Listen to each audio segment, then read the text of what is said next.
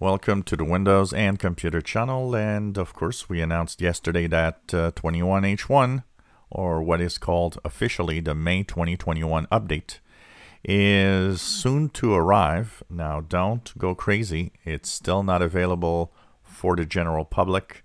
It's available in release preview. It's available if you download the image. Uh, they have it now available on the insider page for download but uh, it's not yet rolling out, but it's soon to in the next days, probably in the next week. Um, a lot of you, of course, so the first question that I get from a lot of you is, I don't see it, I don't see it. No, you don't see it, and you won't see it yet. And not everybody's going to see it also. Um, there's a way that they actually send out these updates.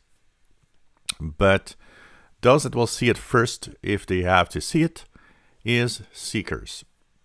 And a lot of you have been asking me what are seekers exactly? Seekers are simply people that go looking for it. That means people that will simply go into the settings, go into update and security, and they're going to click check for updates. That is going to trigger the 21H1. So if you manually do this when it starts rolling out, you have chances of seeing 21H1 new feature update for Windows 10 now available. And of course, it's an optional download.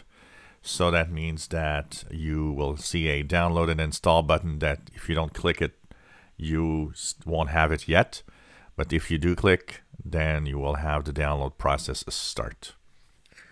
A lot of you have been asking me, okay, um, do I absolutely have to go there from 20H2? I'm on 20H2 and I'm okay here. You don't. 20H2, if you are there, you are okay for more than a year uh, before you actually have to think about moving on to something else. So typically the 20H2 version or the October 2020 update is going to arrive only in, uh, or expire, sorry, or end of support, as we call it, uh, only in uh, April or May of 2022.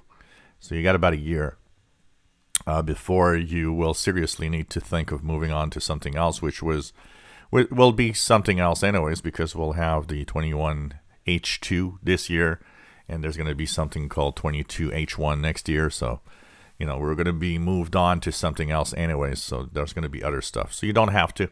Uh, anybody in 20H2 can just stay there and and wait. Those on version 2004, which is the first version of last year, you guys are going to have to start thinking about it in the next few months as the version that you have will expire this fall in I believe October or November. So you still have, you know, a few months before you have to think about it, but you will have to think about it within uh, the next few months that you'll have to move on. But you don't have to move on to necessarily, um, you know, uh, uh, 21H1. You can wait at the last minute and wait until possibly 21H2 will be there and move on to the next big update. Uh, or you can just move on to 21H1 and you'll be okay until the second half of 2022, which will give you, of course, 18 months from the moment you move on. Um, so that's pretty much it. It's a small update. Once again, a lot of people ask questions about how big these updates are because they have limited bandwidth.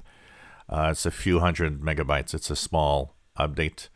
So um, if you move on from version 2004 or 21H1, the only people that could see this be a very big update and a big download are those that are in 1909 still because that means you have to move on to the big feature update of version 2004 before you move on to the next versions. So that will be a bigger update for those on 1909. But only about 10, 11% of you are there for now. So it's coming up and eventually will show up. And as soon as the first seekers, um, you know, start seeing it in Windows updates, of course, I'll let you know.